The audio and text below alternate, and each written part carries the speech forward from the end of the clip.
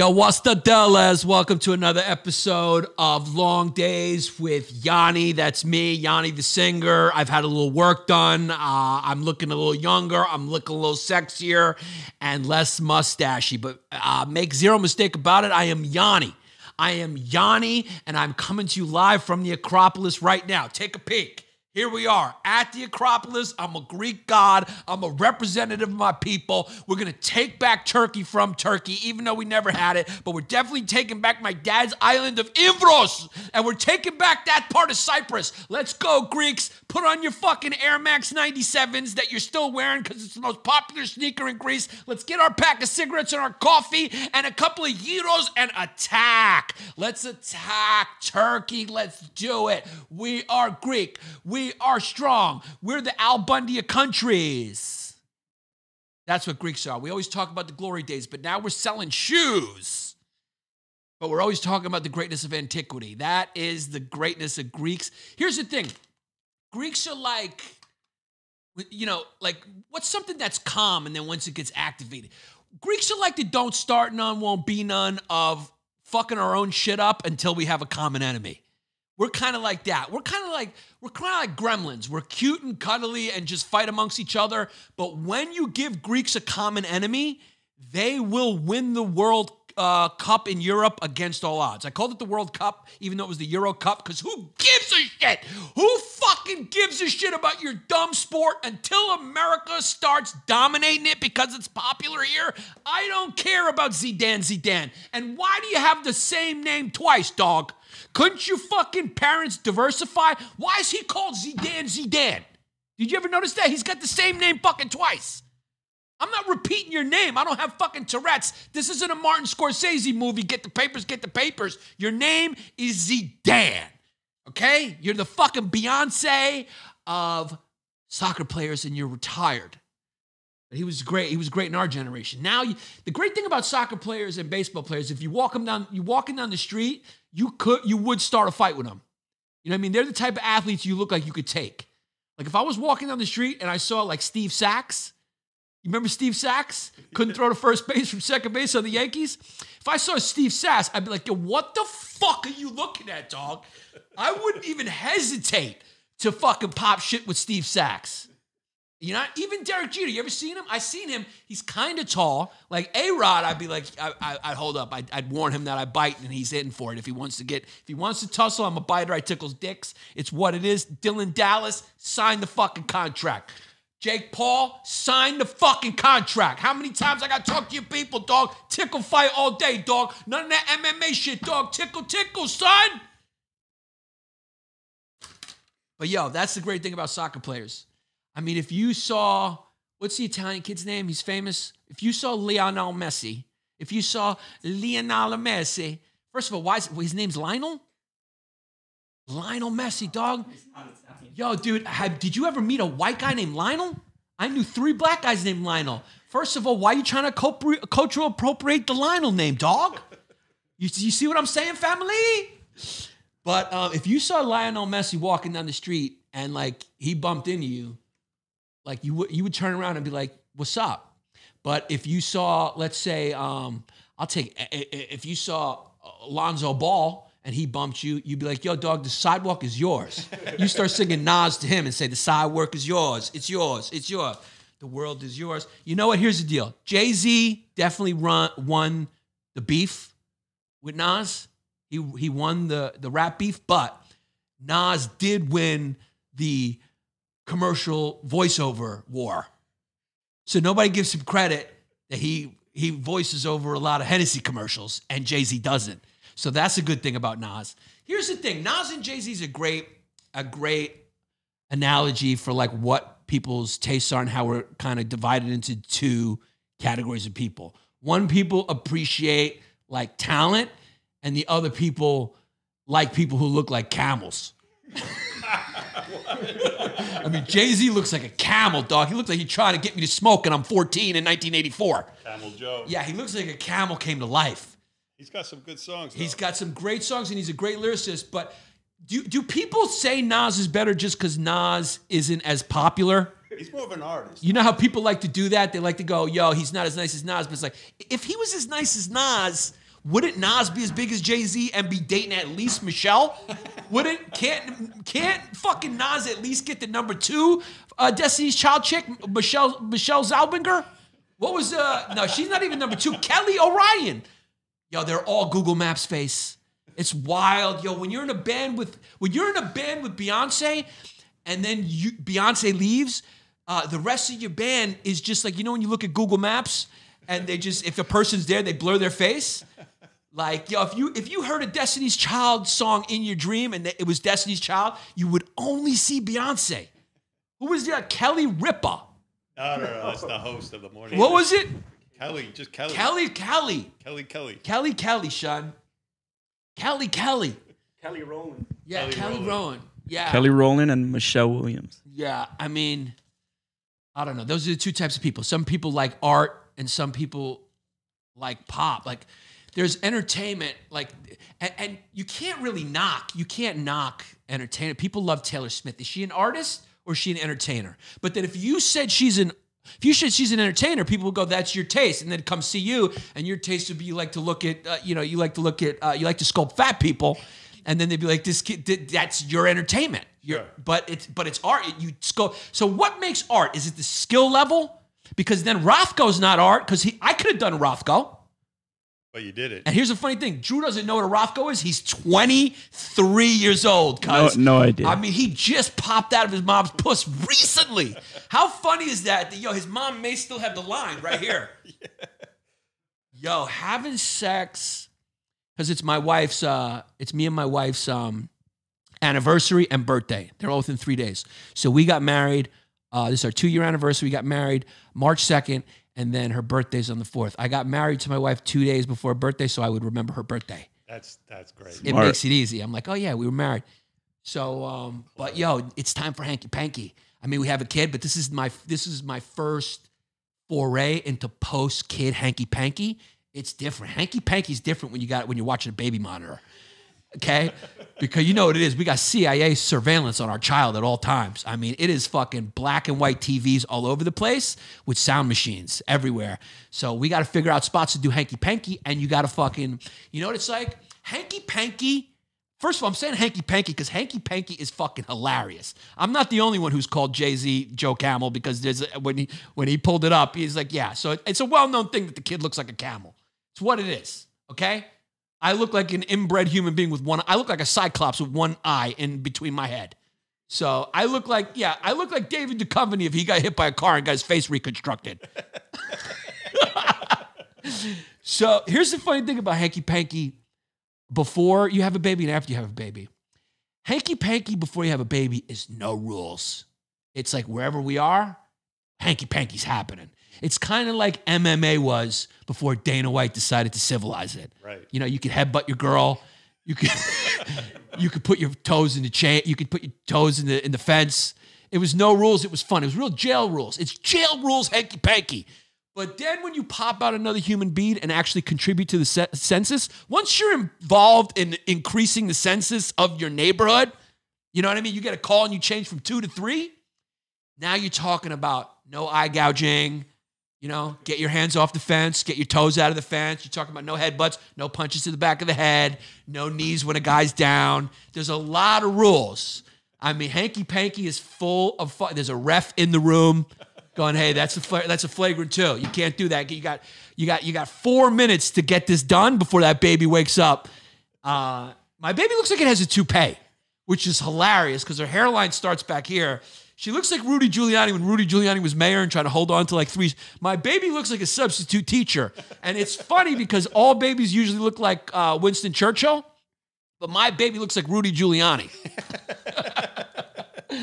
so it's what it is. I love when I look at the people who are watching live on Instagram because the hearts start fucking flying around the room just because I'm looking at them. You know what it's like? You know what it's like doing this podcast? You know when you're at a game and the t the t-shirt gun comes to you and people start doing the wave for a fucking t-shirt. People will do anything for a fucking t-shirt. Why did they not think the cops when people were rioting to just pull out a couple of t-shirt guns and send a fucking couple of t-shirts into the crowd? It would have placated all of the crowd and there would have been no property damage. Why not? When those fucking when those fucking Trump soldiers, those so isn't it funny that they're following uh, a guy who who was a real estate tycoon from New York City, and it's just like dudes showing up from Alabama, like I'm here to defend Trump's honor, and he's up there getting blown by like a model who's friends with his daughter from, from in like a gold toilet. You know, it's hilarious.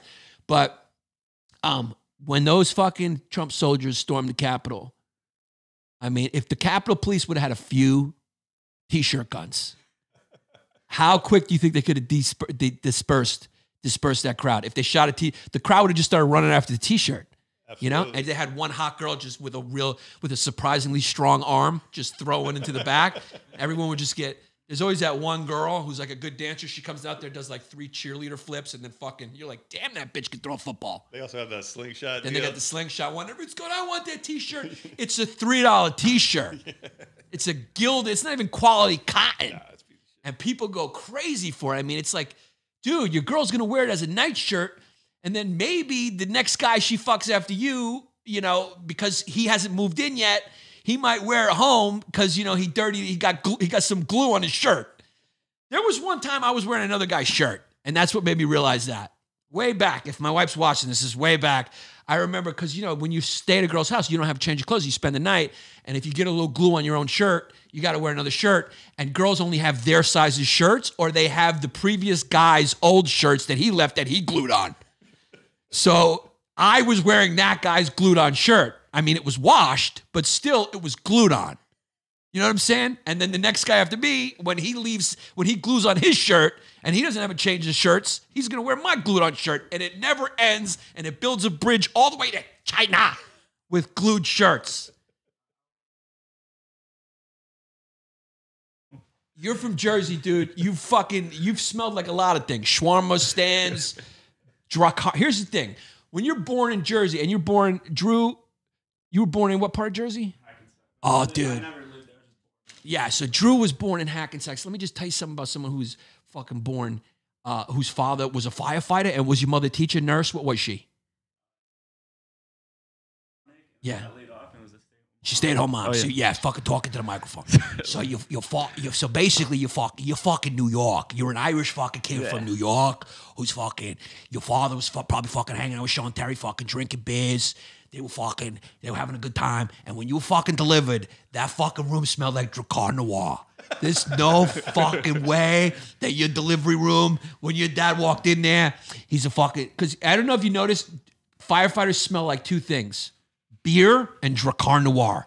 And they put the Drakkar Noir on to cover up the beer, but you can't fucking cover up drinking cold beer here. So there's always, uh, yeah, I just, firefighters always smell like Drakkar Noir. You ever notice that?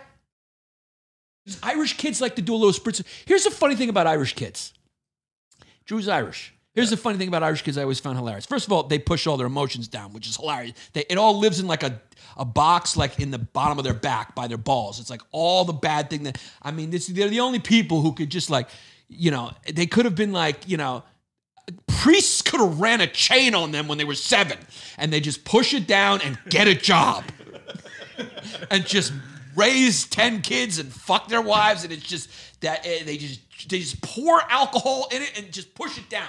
There's just gallons of alcohol over the molestation you know? Okay i'm the bad guy. It's not happening at all. The catholic church has no problem with it. But here's the funny thing about catholic kids.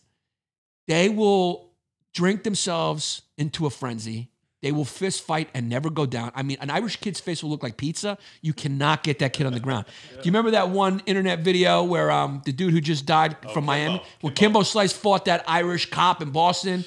I mean, Kimbo basically just collapsed from exhaustion because that Irish kid would not go down. I mean, his face looked like he had been tortured by a terrorist group in the Middle East and they were trying to get information out of him. He looked like a pepperoni pizza. I mean, Irish kids will not go fucking down. That's how tough they are. But they bruise easy. So it looks like they're losing the fight, but you got to have a strong win to beat an Irish guy or bite. Biting always is great. But the thing that's funny about Irish guys is that they'll do that. They'll drink themselves to death. They'll fight. They're fucking tough guys. They'll put on Drakkar Noir, but they'll also leave the room to fart. Irish guys don't like to fart. You never noticed that? I had no idea. No. Remember my ex girlfriend was Irish. Yeah. Amy, Amy- yeah, her dad is fucking drinking beers, whatever. But like, if he had to fart, he would go. He would like excuse himself and go to the bathroom. And I was telling that to Verzi, and he was dying because he has has some Irish friends, and he's like, it's true. Like they like it embarrassed to fart. It's like dirty to them. I mean, yeah, they'll fucking curse you out or whatever, and then they fart. And they go excuse themselves, and they go to the bathroom and just they just fart, and they'll- they treat it like women. Yeah, Irish guys do not like to fart. I Did don't you? even go to the bathroom. I just hold it in and farts in my What? stomach. you Yeah. know? Did your pop was your pops comfortable farting? Well, no, my, my pops was the Slovak. My mom was the Irish one. Oh, your mom was the Irish. My mom. Wow, mom- fucking My mom makes potato pancakes and freaking corned What's beef. your mom's name? Uh, Megan? Well, her old name um is Ca- Catherine Lapp, Catherine's. Catherine's a good Catherine O'Hara. Catherine. Shannon. and Flannan. her maiden Flanagan. name is O'Donnell. So Fuck yeah. Catherine O'Donnell. Your dad met her at the bar. She had a Yeah. fucking shot there. Yeah, Tedesco's she was bar. sitting there with her girls. Fucking, what do you want? You a firefighter? well, I'm staying in Jersey. I'm telling you that right fucking now. He's like, did yeah, meet I'm at a bar. firefighter. I'm Slovak. Fucking yeah, what the fuck yeah. yeah, I mean, New York just has a lot of personality, and working class New York has a lot of. Somebody just said potato monkey fumes. Yeah, Irish kids are potato monkeys. And it's Potato what it is. pancakes. Yeah. So, I mean, here's the thing Dr. Seuss, no bueno. No bueno, amigo. And I just became a father. So, here's the deal I will be searching every single fucking book that sees my baby's face. And we will be looking for objectionable material. So, what did he get canceled for exactly, Dr. Seuss? I think he had some objectionable cartoons. I think there was actually some legitimacy to this because I think he's got like he drew Chinese people with like slits. But this was, I mean, this comes from an era. I mean, when was Dr. Seuss? Dr. Seuss is like alive in the 40s and 50s, right? Yeah. Yeah. So I mean, we were at war. Yeah, dude, I mean, he was. We were at that point. We were at war with Japan. So I'm surprised he didn't turn. He didn't dr- draw them even worse than that. I mean, I'm sure he drew them. They kind of looked. They looked a little jaundiced. Isn't it funny when you look at old cartoons of Asian dudes? You're like, yeah, he. Uh, you can just excuse him. I'd be like, nah, that particular character I think was a little jaundiced. He was a little sick. That's why his skin color is completely yellow. I mean, fucking, when you look at an Asian cartoon from the 50s, dude, it looks like a Lakers uniform. I mean, yeah. So obviously yellow skin. He's running with chop. What's so wrong with that? He's rolling with a with a bowl of soup. Uh, what do they call that? Um, uh, noodles. Ramen. Ramen. He's got a bowl of ramen, and he's wearing um one of those um fan hats. He's got a ponytail. He's got a ponytail. That's not. That's what he got canceled over. Look up what year that was. A Chinese boy who eats sticks, dude. That is not that bad. You know. Like you said, compared to the other content that was out that That- time. yeah, and that's not that bad. I thought it was going to be like, you know, you know when they do like the two teeth and the glass. Yeah, Like, yeah. You know, look, dude, I'm Greek. I wouldn't get offended by a Dr. Seuss characterization uh, Greek, even if there was like a little eunuch boy hanging out of a guy's ass. I'd be like, you know what? That's pretty accurate. If you read the history of our people, we're not gay, but we were pretty good at practicing it. You know what I mean? you ever see Jerry Lewis's Chinese guy? Yeah. 1937. I'll, I'll say this about Jerry Lewis's uh, Chinese guy: accurate. I mean, back then at least they went for accuracy. Is that breakfast at Tiffany's? Look up Jerry Lewis. Yeah, Jacob Jerry Lewis is uh, Chinaman. I think he was probably just his character was called Chinaman. but back then, dude, there wasn't the internet. Like people weren't like roaming around. You know, Blackish wasn't on TV yet. You didn't have uh, you didn't have what's the Asian sitcom? Yeah, I mean Jerry Lewis went full hard. but you know who gets a pass? You know who gets a pass? Um, Mrs. Wong from Mad TV. What was that? You looking like a guy. Oh yeah, yeah, yeah, yeah. When are they gonna come after her? Hi, Miss Swan. I'm Officer Tamarant. I need to get a description from you, and it's only going to take us a few minutes, all righty? Uh, I saw everything, okay. Oh, great. great. Can you describe the perpetrator to me, ma'am? Yeah, he, he looked like a man. Okay, he was a man. Yeah, okay. Uh, everything I tell you I saw. It's coming. Dude, they're gonna cut. It's, It's coming. coming. You know she's hot. She's going. You know they're going. You know she's getting that residual Mad TV check. Going like, should I give it back? Like, she's trying to get Mad TV like done. Like Mad TV never happened. She looking like a man. Any day now. yeah, I mean, does anyone really care? Does anyone really care? Mrs. Swan. Mrs. Swan. She looking like a man. I mean, dude, thank God I'm not more famous because they would try to come after more. Here's the thing about. Oh, did they come after her yet? Yup, you knew it. Read what it says. We'll have I you. fucking knew it. Read the headline. We'll have you wonton more. Yeah. Like, come on. What is it? Miss Swan is yellow face We'll have you wanting wanton more. Okay. So give credit where credit's due. That is a juicy headline. Yeah. That is really nice. Um, so uh look, I, I've been thinking about these young kids like millennials and um and Gen Z. And you know, oftentimes because what are we, Gen we're Gen what are we, Gen Y? We're X. Gen X. Because we're a little older and all older people get annoyed by younger people, um, I'm usually making fun of them. But let me tell you why I'm appreciative of millennials and Gen X. Um, is because I think they're the only ones that can protect us against like falling into a communist dictatorship. And I'll tell you why. Because they don't they don't have kids. They don't have kids and they still enjoy like fucking a lot, you know, and they got tons of energy.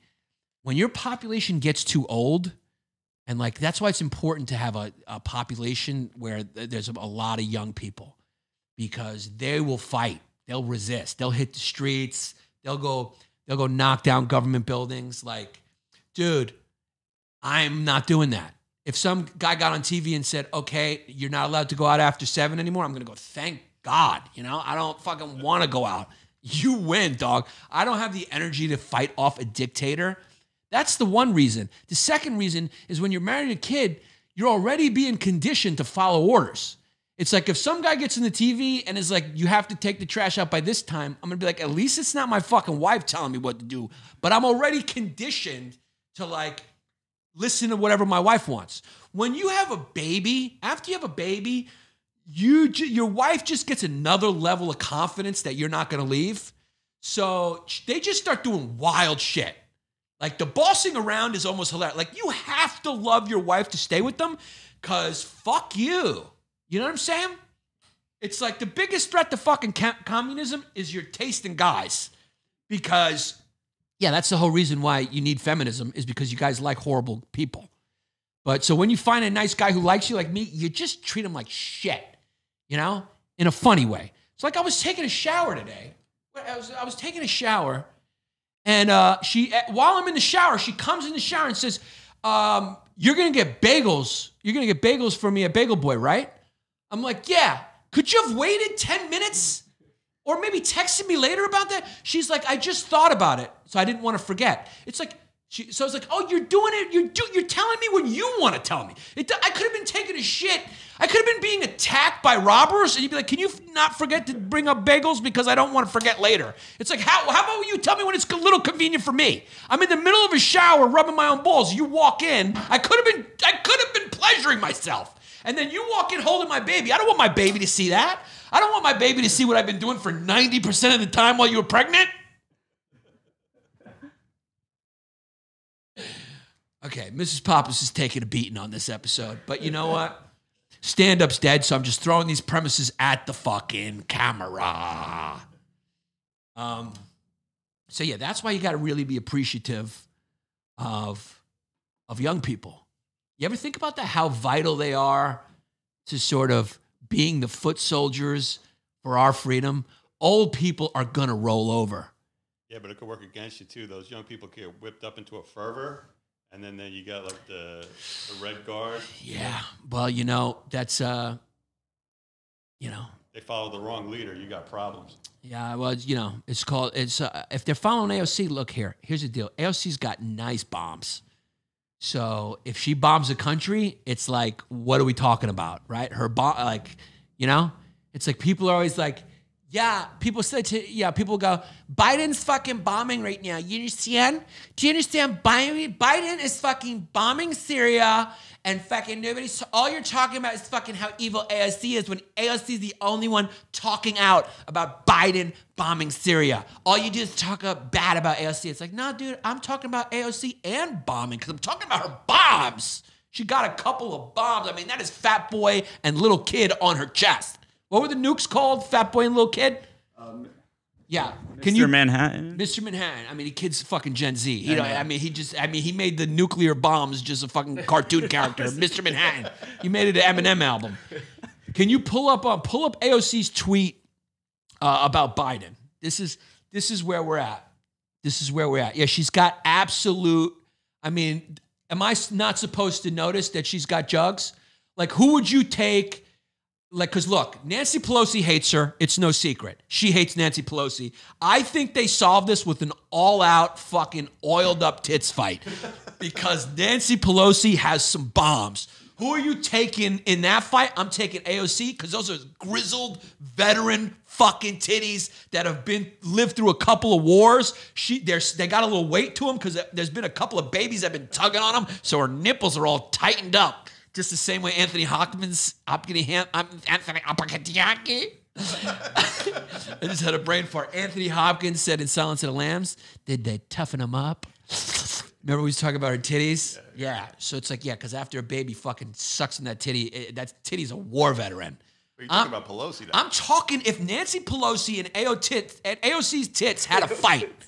If they had a tag team wrestling match, dog, I'm talking Road Warriors versus the Hart Brothers. I'm taking the Road Warriors, grizzled veterans with face paint. I bet you she'll face paint her titties. Nancy Pelosi will show up to the fight with fucking Indian war paint underneath, and also an African garb to remember the fallen to police brutality, which is still a fucking wild photo to see when you see all the Democrats kneeling with Africa uh, medallions. I thought I was in I thought I was in 1991 again, where all white kids were wearing Africa medallions. You remember that? Oh yeah, yeah. Yeah, that was a good time. I'm taking Nancy Pelosi in a tag team fucking titty fight over AOC. No question, no doubt. Let's see the fucking tweet. Okay, so AOC says, "Here is the profound danger of what uh, what we just did in Syria. A mad king president with majority disapproval of Americans just decided to bomb a nation. Blah blah blah blah blah blah blah. Democrats who take war money pass the laws allowing that. Uh oh. Uh oh. Fucking, we got some juicy beef within the blue party. Wow. Dog, we always knew that Nancy and AOC and the the fucking squad versus Nancy Pelosi and her bitches. Like if they were they should do a dance off fucking they're gonna make a fucking musical about this one day. How funny is that music gonna be? Like like you know, some old opera singer fucking puts a cigarette out, plays Nancy Pelosi. Da-na-na-na. Who's the dude who did Hamilton? If he don't do, oh, if he don't make a rap musical with Nancy Pelosi and AOC and the squad versus Nancy Pelosi and the old guard with Biden and Obama, and they come in like, we bomb, but we talk nice. We put people in cages, but we smile at you. We deported more illegal immigrants than any other president before, but Obama could fucking talk. And he comes in, I used to smoke Newports in college. Michelle is more charismatic than most Republicans. She is my girl. I went to fucking DC and lived in Park Slope for a second. He did, by the way.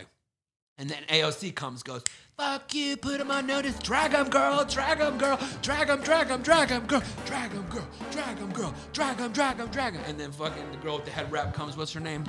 Oh, Ilhan Omar. Ilhan Omar comes and goes, I fucking, I didn't marry my brother.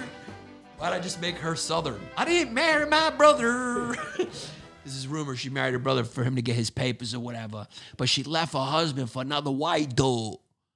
Yo, you living with a white dude? Yo, what you doing, girl? Yo, you got a fatty? What, what she go? Yo, I love when, when black dudes like, yo, he don't know ma.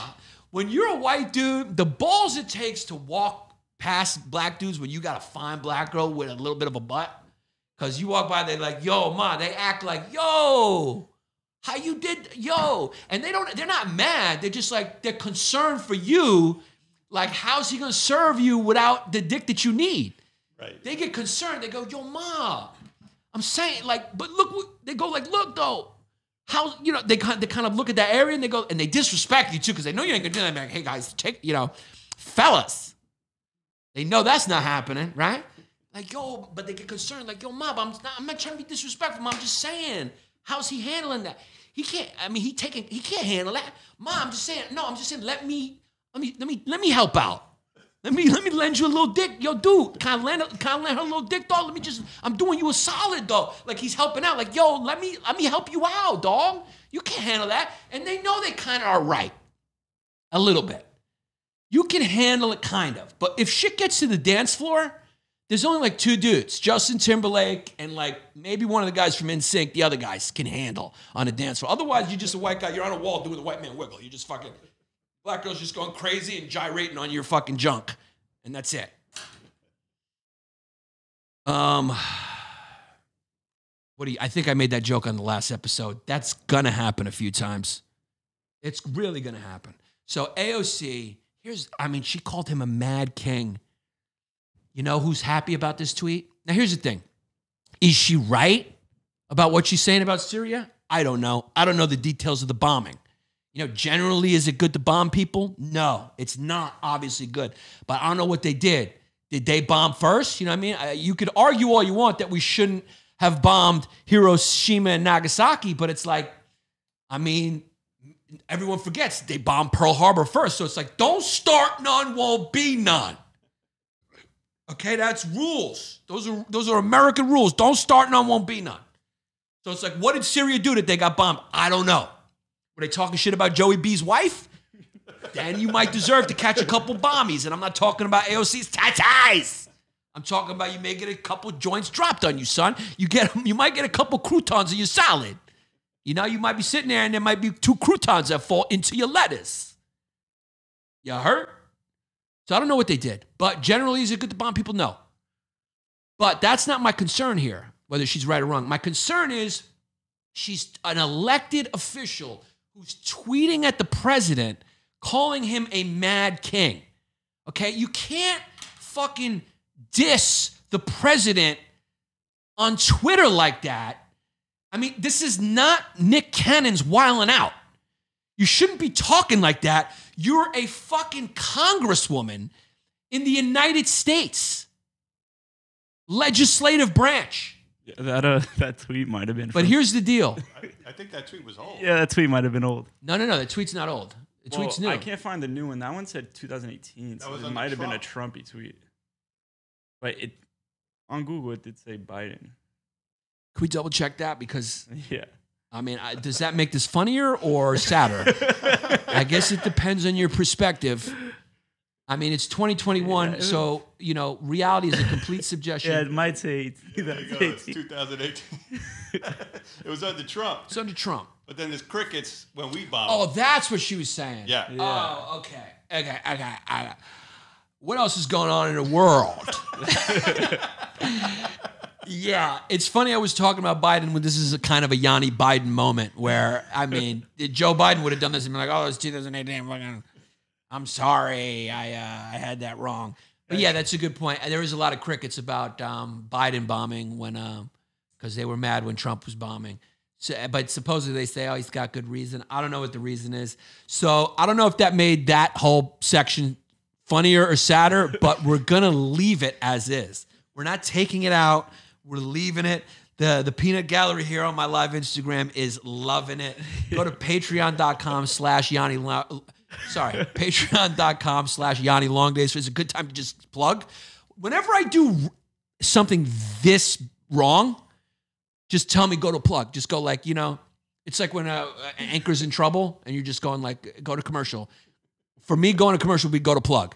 When I when, when my news is like from th- if let's do a two year window. If I'm within two years, let me ride. But if we go back three years, if I'm saying something is a tweet from today that was three years ago, tell me to plug the Patreon. So patreon.com slash Yanni Long Days for bonus content. I'll be at Soul Joel's uh, March 13th. That's coming up. That's for Philly and uh, the D- uh, Philly, New Jersey, wherever. Drive there. There's not many comedy clubs open. It's a heated dome.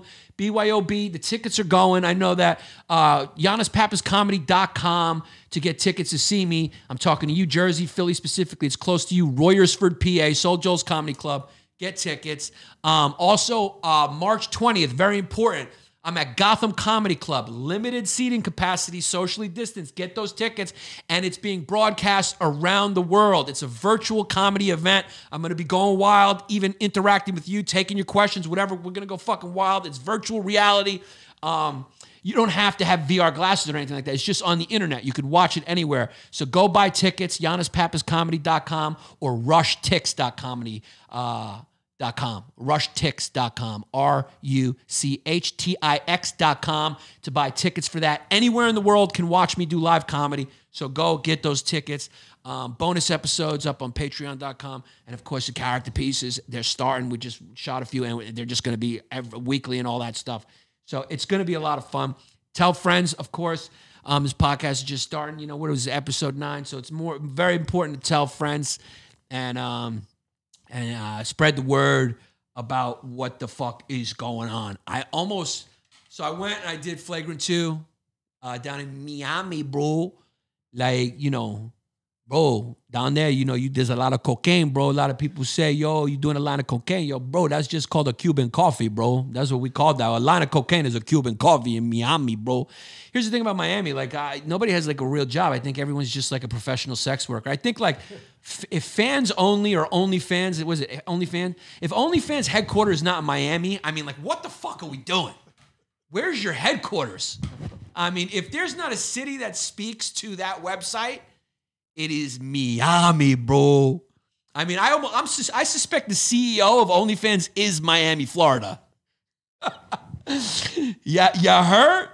So I went down. I did Flagrant Two. Had a great time. Uh, uh, you know, Andrew Schulz tried to fucking grill me on the ending of uh, History Hyenas. Um, obviously, obviously, it was an amicable, mutual decision. We're all we wanted to do other things, and who knows if we ride in the future. So that is that. That's the end of that. There's nothing to say. Everything else is jokes and just having fun. Our final episode's coming out March 24th, History Hyenas.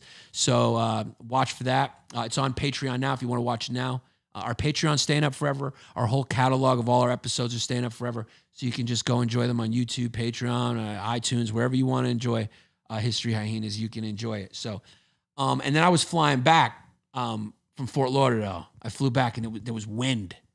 There was like a wind. They delayed the flight because there was wind in um in Westchester. And I'm one of these people who like have be, has become too confident in flying because of the stats.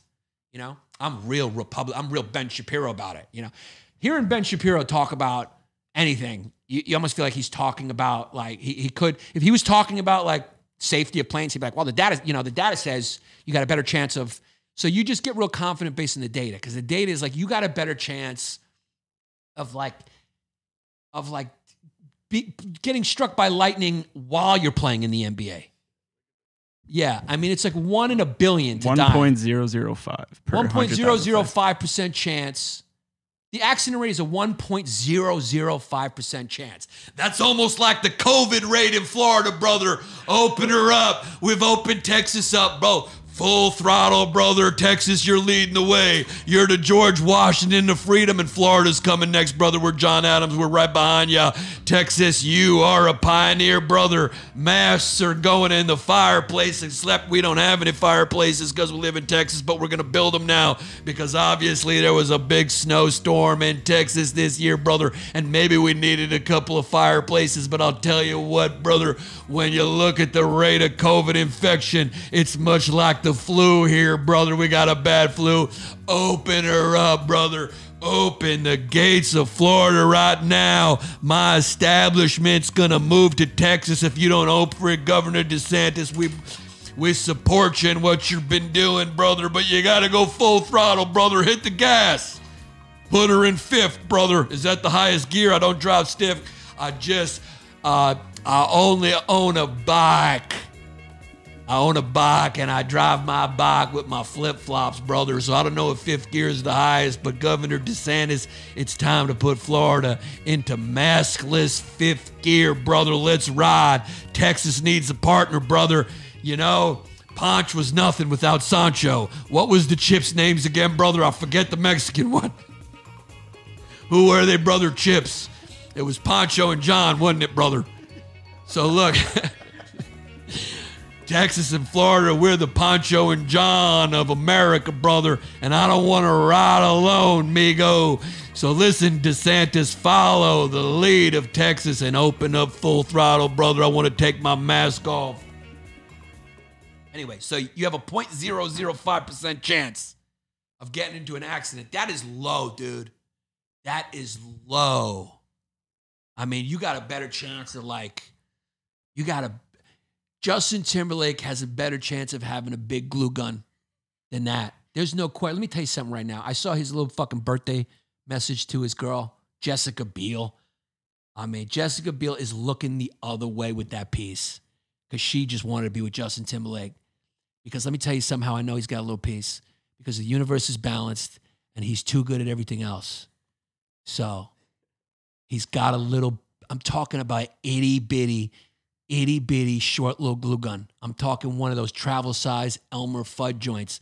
I'm talking about, you know, when you get those little uh, skinny crazy glue tubes? He's got a little tiny crazy glue glue gun.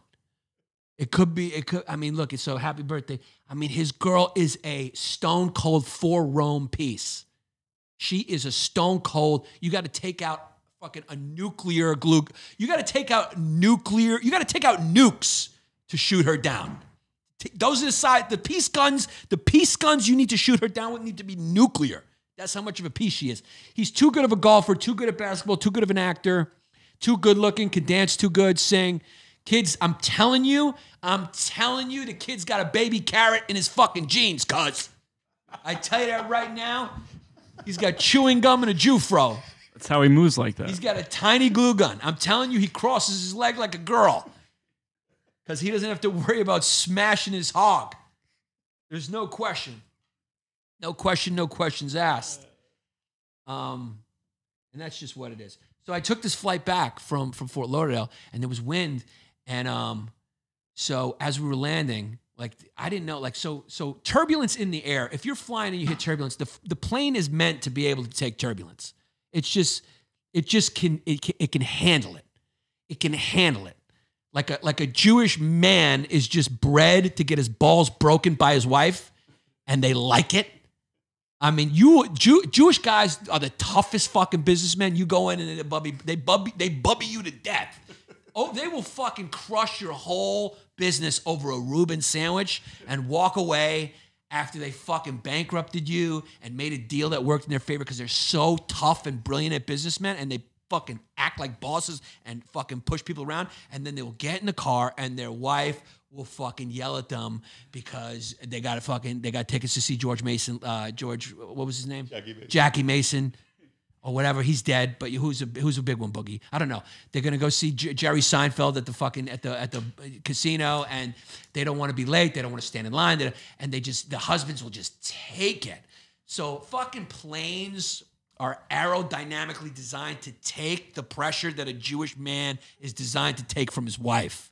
And I've seen it firsthand. I grew up in Brooklyn. My mom's best friend was Jewish, and her husband was like one of the biggest defense lawyers in the fucking in the fucking country. And she would just fucking shut up, and he would just he wouldn't say a damn thing. You put that guy in court, he would probably crush it and get criminals off, drug dealers off. And his wife walked in the room. He's like, "Yeah, I'm gonna go make you a tuna fish sandwich right now, babe." So that's how strong planes are. They're as strong as a Jewish man around his woman. They're designed to take that turbulence. But when you're landing, that's where you're really at risk of the plane crashing during landings. So there was like a windstorm like up there. And um, so as he got closer to the ground, the plane can take it higher. But when you get closer to the ground, it's the winds pick up. There was one gust that almost flipped our plane. Like it, like if we were lower, the plane would have struck into the ground. So the wind gust happened. We went like sideways, and then the, the pilot flung it back up. He he hit the he went back up. Like we were this we were like we must have been like 100 feet off the ground, 50 feet off the ground, and we just felt it go tech. And we went and the girl next to me was going, "Oh my god, oh my god!" She go, "Oh my god, what's happening?" And she looked at me, and I said, "I don't. I, I'm not in the cockpit." But just like a woman, they're fucking feminist and strong until you're about to die in an airplane. And then she was just looking for a man's arm to hold on to. She grabbed my arm. I'm like, I'm married, bitch. Just because I'm fucking about to die, I don't want I don't want this karma on me. Don't touch me. I'm married. I got a baby at home. I need to text my wife goodbye. Which I did, by the way. That's a wild text to send. Really? Because yo, it was bad, dude. This was the worst. I've never, I've only had smooth sailing flights, and I told you I'm arrogant like Ben Shapiro. Because of the data, I'm like, you can't die on an airplane. Wait, what did you say? What did you say in the text? I text, I said, I love you and G.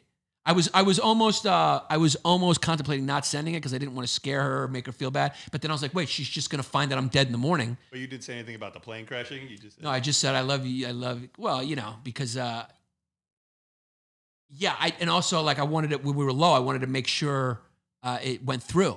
So I did it like right when the guy was taking off. I'm like, oh shit, we're gonna die. And so people were just freaking out, dude. People there was a lot of people though. You you really see people. It's like the Joker said. Remember, he's like, you know, you want to know who they really are. Remember that part? He's like, you want to know which one of them are cowards? It's kind of true. And let me just say, if you were sitting in 23A and you were wearing half a shirt and you were clearly a Jewish girl, yeah, you don't come from you have anxiety in your family. Because she was she was she was even like when there was a little turbulence in the air, I could see her. She would always grab the she was grabbing the chair as if that does anything when they go ooh, as if you're not in the air. Like they're like, okay, at least I'm on solid ground. No, you're not, bitch. Might as well go with the flow and surf it out. Because you grabbing the end's not gonna do anything. And um, but then when she turned to me, she goes, "What's going on?" What did she say to me? Says, "What's happening?"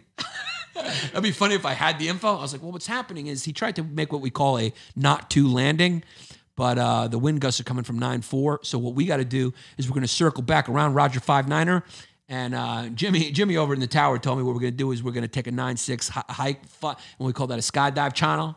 And we're going to take a skydive channel because that's not what she wanted. She just was looking for she was looking for God to save her, but she can't because God don't care about JetBlue flights. He's too busy supporting Muslims' war against uh, the infidels. So he's busy. Okay?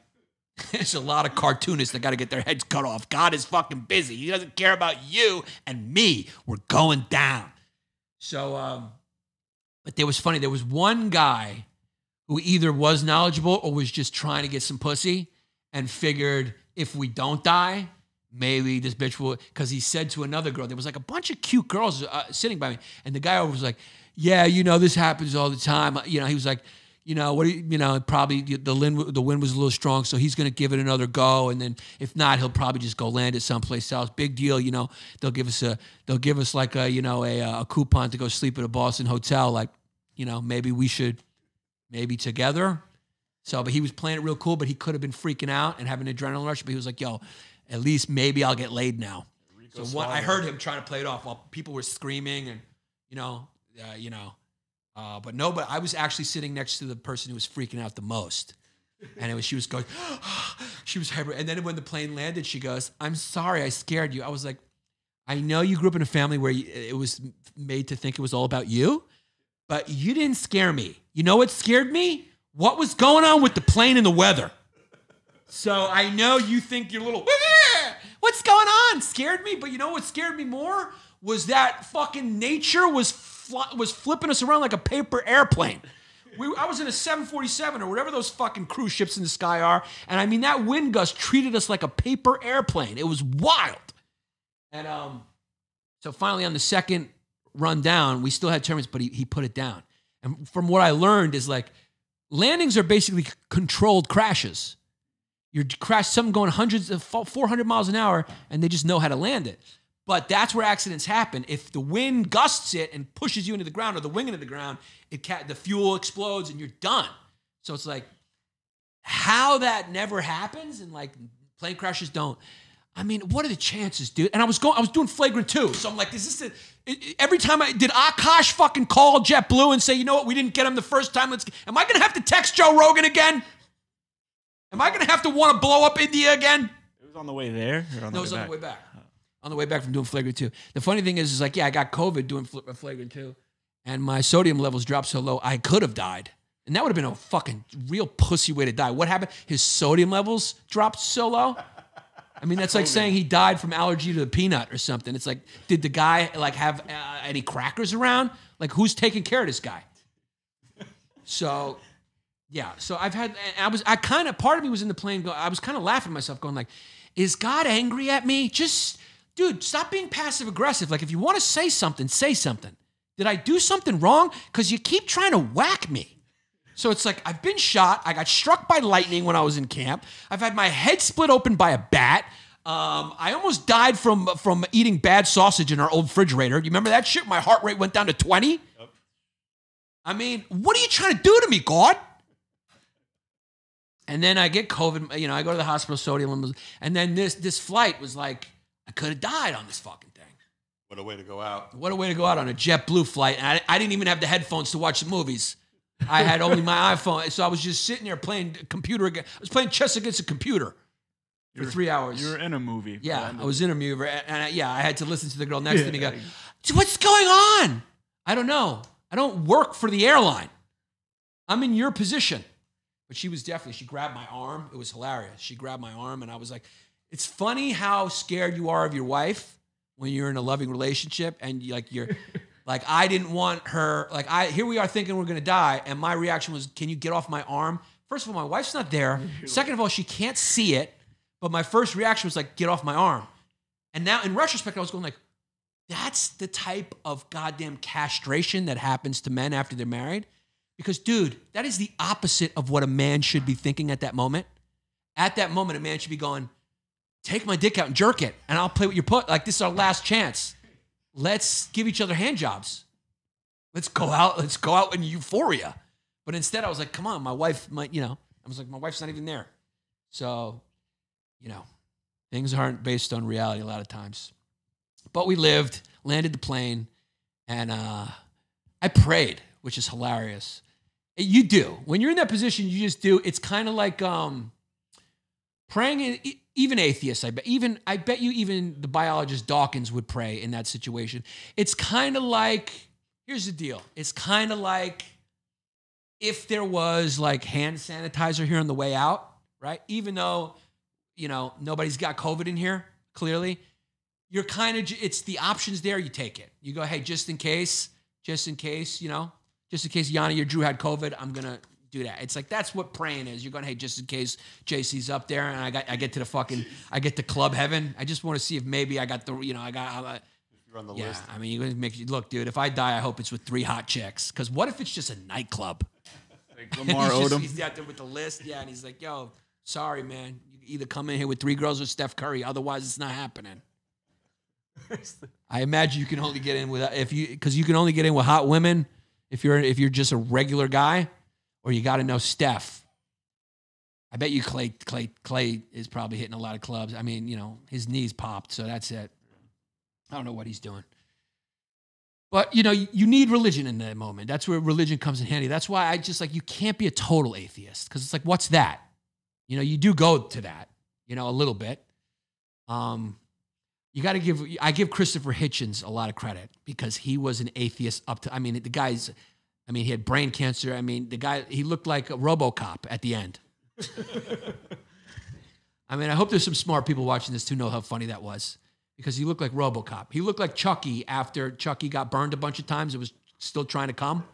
Like his, he just had lost his hair and he was still up there going, I'm going nowhere. I'm going nowhere. I'm going to darkness.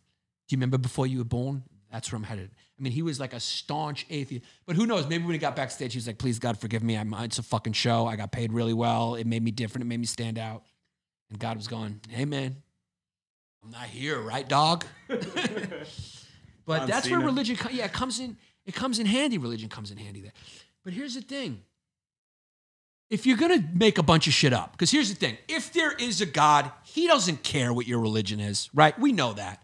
In fact, sometimes I have more respect for atheists who are good people because at least they're doing it for more a more pure reason. They're not hoping for some reward. It's kind of almost cheating if you believe in a religion and you're being good just because you're going to get rewarded. What are you, a fucking dog trying to get a treat, obeying his master? Maybe God's a dick like that. I don't know. Or not a dick. Maybe he's just a good dog owner. Maybe God's a good dog owner. Be a good dog owner. Treat your dog like a dog and not a kid. Get it out of a fucking baby carriage. It's freaked out. It doesn't know what's going on. It wants to kill a fake squirrel. Um, I don't know.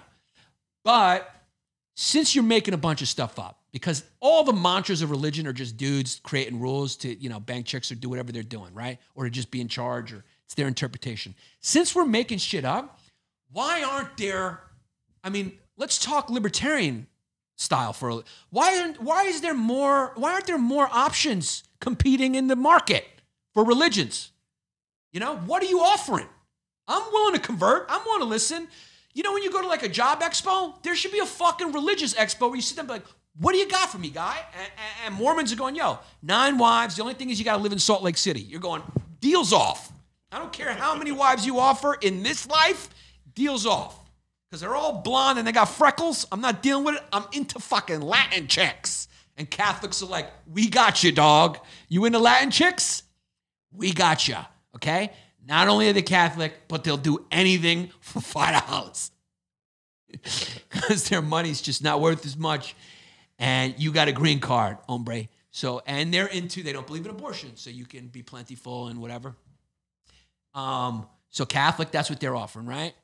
Um, they're offering free babysitting from uh, from priests, a lot of youth services. If you're willing to look the other way, you do get a lot of free time though. If you're a Catholic, if you want to roll the dice, play Russian roulette with whether this priest in your parish was moved from another one and likes has the taste for children, they're willing to take your kid, right? By the way, that's the reason why Catholics are against abortion, uh, because they fuck kids, and you never fuck with a motherfucker's supply. Unwanted kids, that's what they're in the business of. If you like to fuck unwanted kids, you would hate the women who were not making unwanted kids. They're like, no, no, no, have it. We'll take care of it in a basement somewhere. Oh, I'm the bad guy. I love when you do the Catholic stuff. I'm the bad guy. Like the fucking dad is not out. Right, Jen, Jen Shapiro? My uh my my priest when I was a kid was found on an island with like eight little boys. Oh, he was like the Jeffrey Epstein of Catholic Yeah, priests. He had his own Catholic little Uh, He was this big, heavy set guy, and I remember asking my mom like, "Why doesn't he come around no more?" And she just Was the me. island popular? Like nobody asked any questions? He was just like, these are my kids? I think it was Puerto Rico actually. Right. Nobody asked a lot of questions there. Yeah, I guess. Like a I know- vacation, he went with him. Yeah, yeah. Probably convinced some parents. Yeah, like, he was "Hey." like, if anyone asks, you're my kids, and they just walked around with that glow, just like that kidnapped glow. Remember what was her name? Uh, something Smart, Alicia Smart. Yeah, Samantha, Samantha Smart, Smart. or something. She was kidnapped, and then she got away, and then Stockholm. I, sometimes Stockholm syndrome, like you know, if you give the kid ice cream, he may not fucking care that you're you know raping him every night. He's like, well, he does give me Carvel, so it's a good deal. My brain's not developed enough, so I'm kind of going with it. That's the danger of being kidnapped is Stockholm syndrome.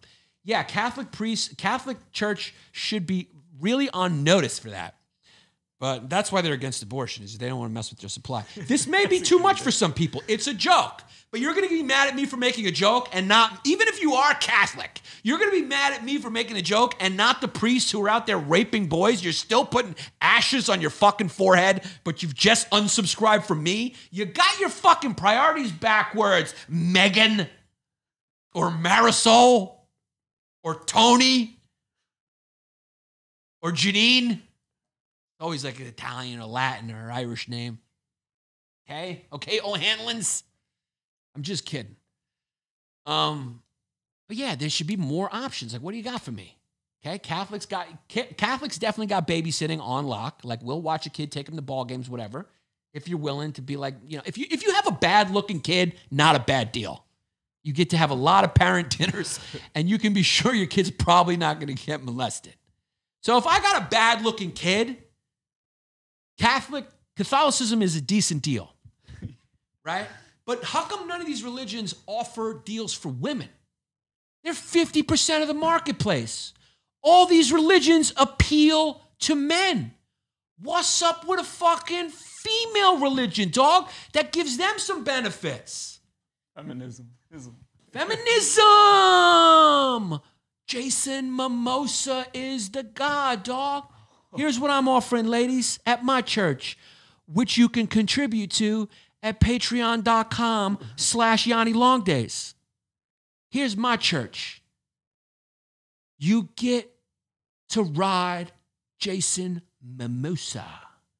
Here's what we do freedom of religion. Okay? In my religion, feminism or ism, whatever you want to call it, Jason Momoa has to be kidnapped and made property of that religion. So, and they can't stop you. That's my religion. That's my belief. Jason Momoa is our temple, and we all get to sit on his dick whenever we want. Whether Jason Mimosa likes it or not, doesn't matter. That's part of our religion. So they kidnap Jason Momoa. He's on the altar. They just give him a couple of Viagras, and they just, you know, when you go to take communion at Catholic Church, instead of taking communion, they all go up and just take a couple of dips on Jason Momoa's schween on his little hard glue gun, and and and um and Lisa Bonet has to watch. That's part. She's got to watch because fuck her, she has it too good. Fuck that. What did she do to deserve that man? Oh my god. So why is there not that religion called the called the Jason Mimosa? Just call it the call, it mimosaism. and he doesn't like it, but it's not. It's your religious belief, untaxed.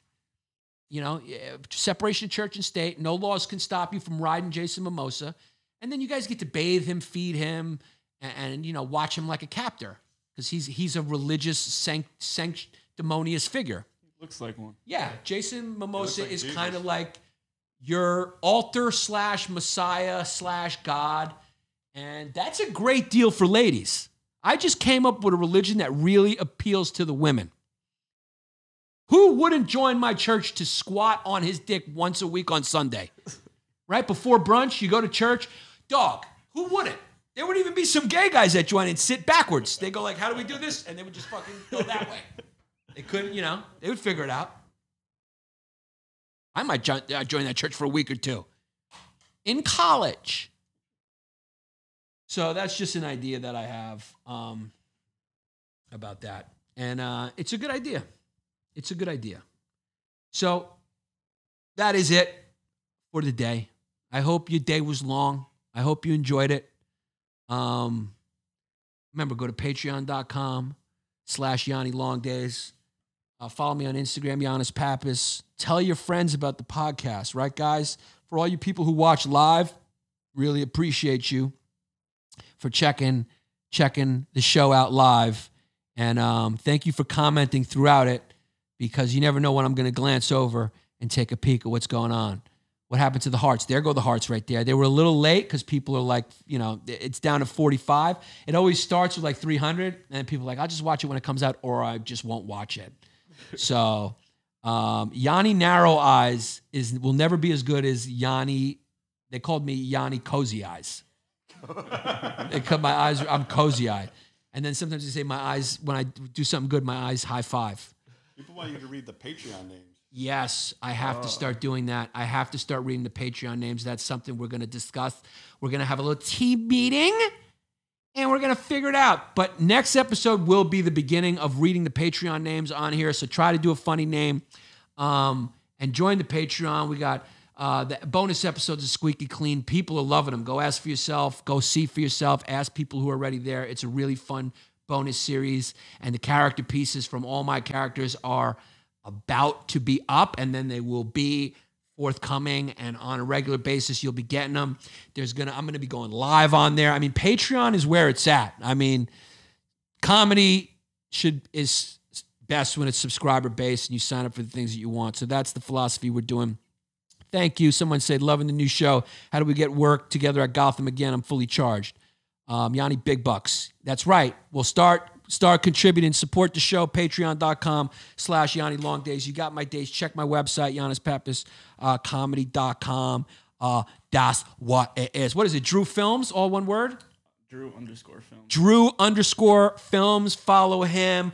Also, director extraordinaire, producer extraordinaire, whatever. What do you want to be called? I don't give a shit. Just be called fucking Jay Dizzle, Jesse Scatoro, all one word on Instagram for his finger paintings. For his finger paint. Yo, when can I get a painting, dog? Come to the studio. Yeah. Yo, how are you still selling baby Socrates? You made a couple Jeezy selling. Those were original sculptors. Uh, the original sculptures from the old Mr. Panos videos were sculpted by hand by Jesse. He sold a few to some fucking eager Greeks. Oh yeah, the Greeks loved it. Yo, if Loved you're a. Greek and you own a diner, you're a big Mr. Panos fan from the past. First of all, we still got that merch up. Mr. Panos, Maurisa merch, Mr. Panos merch. You can find that. Uh, just Google it. Just fucking Google it. Um, and then we got Long Days merch coming soon. But if you want, uh, are there any baby Socrates statues left? Custom order. Custom order. Hit them up on the gram. You know what? We're fucking Gen Zers. Hit us up on the gram and get. Um, and we don't take any offers unless you got face tattoos and if you don't have a TikTok, my friend. Yo, if you don't fucking follow my boy Drew underscore films. Okay, Drew Films, Drew underscore film. If you don't follow him, dog, and tell him that his fucking thirteen hundred dollar bar uh, uh, Giorgio Barbucci shoots ain't, shorts ain't the shit. What was it? What shoot? You came in here with thirteen hundred dollar sneakers the other day. Balenciaga. He got some Balenciagos. So no, I'm uh I'm into sneakers, but I never heard of those. What are they? Bla- Bla- Balencianos? Balenciaga. Balenciaga. He came in with some Balenciagas. So, um, yo, I mean, you you better be careful. Let me tell you something, Drew. You grew up in a, you grew up in a safe New York, but I think it's turning to the New York we grew up in. if you wear those Balenciagos, dog, you may walk home in socks one night. That happened to me one night. I walked home in No way. socks in snowy, icy weather. They took the Timberlands off my feet and sixty dollars out of my bus pass.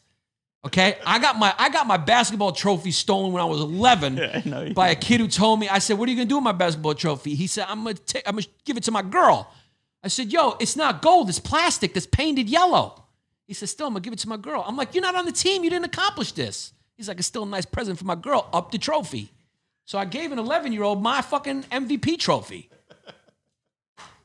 And that's how New York used to be. So yeah, I remember that cold night. I walked home in socks. What year? Yeah, when you try to avoid puddles, Yeah. you try to avoid puddles to protect your sneakers. Try avoiding puddles because you don't want your socks to get any more soaked. Uh, it's so demoralizing. Yeah, and then when someone sees you, they know it. They know it. Back in the day, if someone saw you walking home with socks, they knew what was going on. No woman stopped and said, "Are you okay? Uh, are you homeless?" They knew. If you were a kid walking, they're like, "I just probably got, probably lost his hat too." You Got know? got. Yeah, I mean, yo, dudes used to go shopping on you. yeah. it's a good line. I mean, dudes would just see you and they looked at you like a store. And they just went, they just came over and like, yo, dude, I'm sorry, don't mind me, Paul. I'm just shopping right here. Let me get those nines. Let me get that fucking white Yankee hat and that Nautica. I'll take it. Thank you very much. Thank you very much. Yeah, and can I return them if it's not my girl's size? I appreciate you, dog. And up the trophy. If you kept that hat for more than a month, If you kept that more, if you kept a hat for more than a month in Brooklyn in the 80s, you either knew jujitsu or you bit.